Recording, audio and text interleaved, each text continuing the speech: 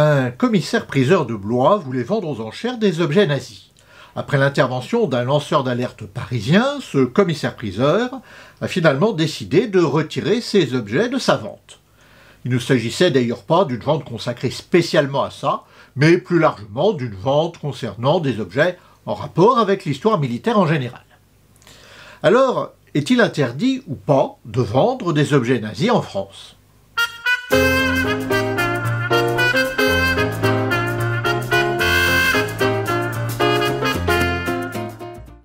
Alors que dit le droit au sujet de la vente de ces objets?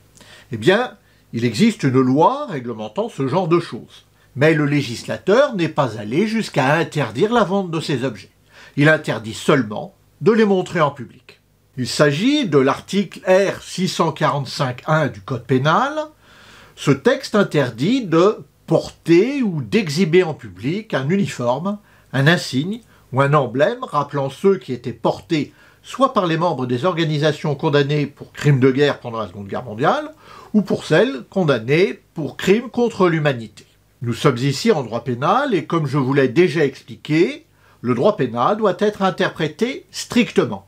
Et quand le texte dit que ce qui est interdit c'est de porter ou d'exhiber en public un uniforme, un insigne ou un emblème, ça veut dire à contrario qu'il n'est pas interdit de vendre ces uniformes, ces insignes ou ces emblèmes.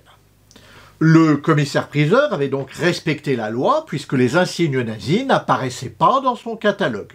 Ils étaient tous dissimulés par des pastilles. Rien ne l'obligeait donc à retirer ces objets de la vente comme il l'a fait à la suite de l'alerte qui a été lancée.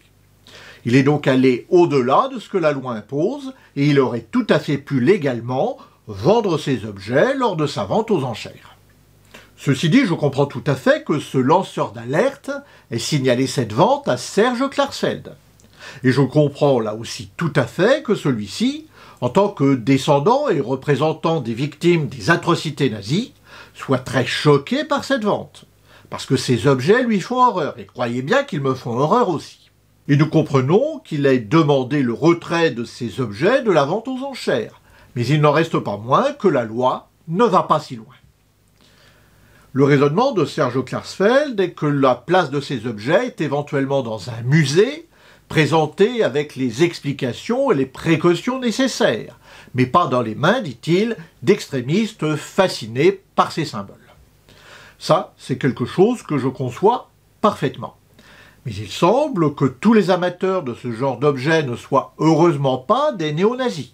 Par exemple, les casques de la Waffen-SS, les ceinturons à tête de mort, les médailles et fanions avec des croix gammées ou encore le drapeau de la milice qui était mis en vente à Blois provenaient de la collection d'un grand résistant dont le nom est dans les annales de l'histoire de la résistance, dont il était un chef départemental des FFI et ont été ramenés d'Allemagne comme trophées de guerre. Donc les choses ne sont pas toujours aussi simples et ces objets n'intéressent pas forcément que des néo-nazis. Certains amateurs de ces objets peuvent être d'authentiques collectionneurs. C'est pourquoi la loi française n'interdit pas de les vendre, mais seulement de les exposer. Il y a plus forte raison de les porter. En revanche, on peut avoir des doutes sérieux concernant, par exemple, les amateurs de reproduction de de zyklon qui était le gaz utilisé dans les camps de concentration pour assassiner les juifs, les tziganes, etc. Ou encore euh, ceux qui ont payé euh, en Allemagne il y a quelques années 275 000 euros pour une veste d'uniforme qui aurait appartenu à Hitler. Contrairement à la France, certains pays occidentaux n'interdisent pas l'exposition de ce genre d'objets. Ça avait d'ailleurs donné lieu, voici 20 ans, à l'une des premières décisions de justice française concernant Internet.